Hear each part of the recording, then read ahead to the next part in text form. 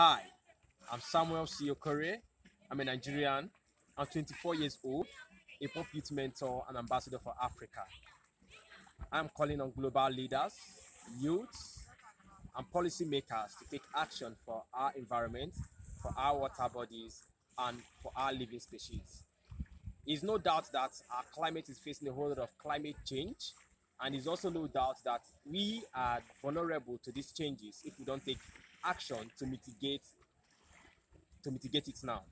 And I am calling on everyone out there to carry out one action or the other to protect our planet. As you can see here is a riverine area where a whole lot of things go on. If you go to the other side of this river, it's being littered by a whole lot of plastic waste.